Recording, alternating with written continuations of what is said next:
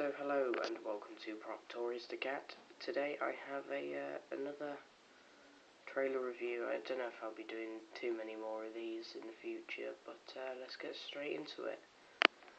Uh, this is World War Z trailer review. Um, looks amazing, by the way. It's basically like 70% of the world's population just get zombified and they go around killing humans and stuff.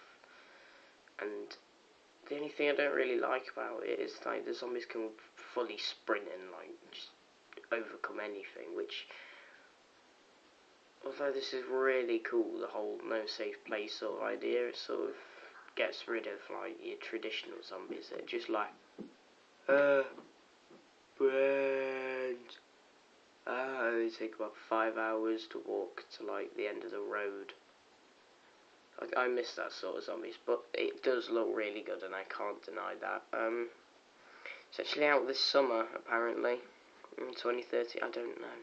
I don't fucking know, but summer 2013, guys. Looking forward to that. I, I it looks quite good. It's it's something I would watch. Anyway, thanks for watching, guys. Uh, I'm giving this a 8 out of 10. Leave a like, subscribe, give us a comment. You know it is, Proctorious the cat the yellow face says so. Check out www.youtube.com slash user slash xxnozbossxx2. Bet you didn't think I could remember that.